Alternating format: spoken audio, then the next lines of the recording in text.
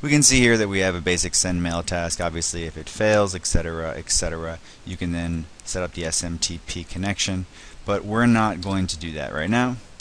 Um, we also have DQS cleansing in here, which we actually have to set up the DQS server for, etc. We also have merge join in here, and we're not going to be using that because we're actually going to be merging two data sets. We're not going to be using a merge join, and that's kind of not exactly congruent to what it actually does because in reality it's really just a join. Um, the merge, however, is of course relatively new as far as I believe SQL Server 2005 and we're going to utilize it quite swiftly here.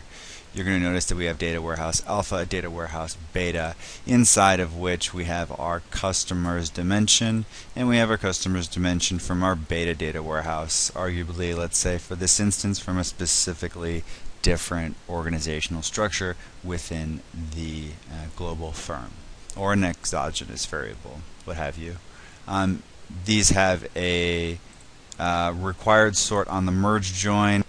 Of course, obviously, we could use merge join if we had one different data set in Data Warehouse Alpha and another data set in Data Warehouse Beta, but we had a customer ID to bring those two uh, tables or entities together to be able to be able to build a more fully realized table. But for this scenario, that's not what we want we actually just want to pull in all the new stuff from alpha, all the new stuff from data, beta, bring it in, merge it, and then remove the duplicates. And some people may have other methods of doing this, some better, some worse. And in time periods of downtime when you're using parallel processing within SSIS, it shouldn't be a problem. You just double tap this, you remove the duplicates, the duplicate sort values, um, uh, you know, if you're going to do a process like this, generally speaking, you shouldn't be having right too many duplicates because they're from completely different entities, right?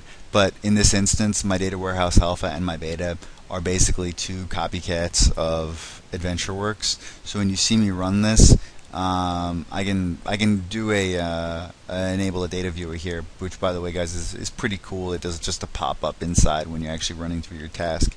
But when I actually run this you're going to see um, that it's going to put in about 18k it's going to duplicate that and then it's going to it's going to kill those off. Now conversely um, we'll just run through this really quickly so you can see it here we go. It went up to 36k now it's back all the way down basically right?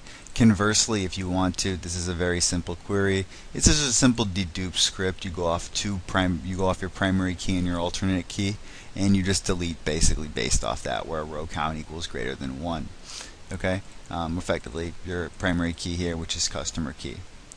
Alright so that is the primary way to do your basic ETL from multiple data warehouses down into a data mart for you to then begin consuming. If you have any questions about this please send me a message. Thanks